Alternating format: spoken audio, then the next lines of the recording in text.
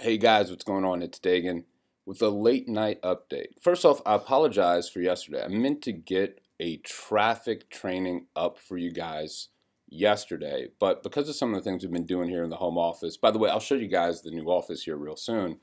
Um, we just got behind schedule. So, wanted to make sure I got this quick video out for you for a couple of reasons. Number one, just want to share a couple of cool updates with you uh, from behind the scenes. So, these are just a couple of cool things that got sent in today.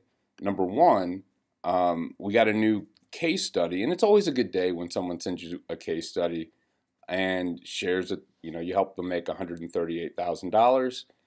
That's not a bad thing. So this was uh, this put a smile on my face today. Got it uploaded to the YouTube channel.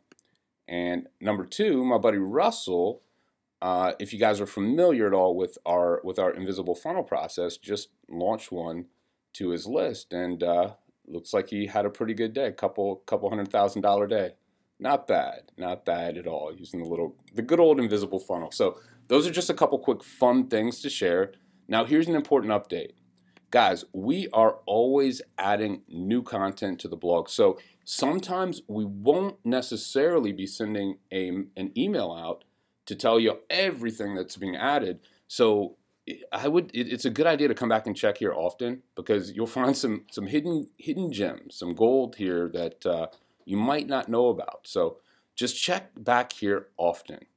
Um, of note, there's a couple things here that are that weren't here that are here now. So come check them out. And now for for traffic, guys. Here's the deal.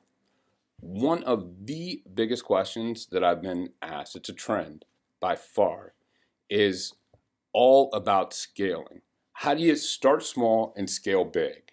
And so what I'm going to be doing tomorrow is I'm going to be addressing that question directly. But right now what I want to what I want to do is I want to just ask you, you know, what do you think the best way to scale your business is?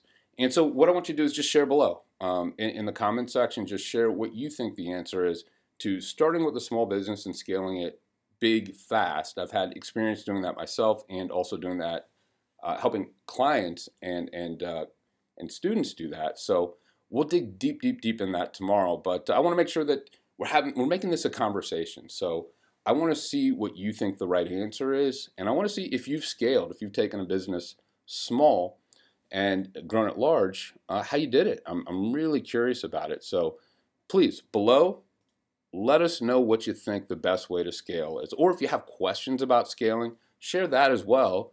Or if you've got a case study or a process or something you've done that's awesome, share and let us know. And uh, I'll be checking out comments. And tomorrow I'll be back with the answer. So, how to scale, how to go from small to big.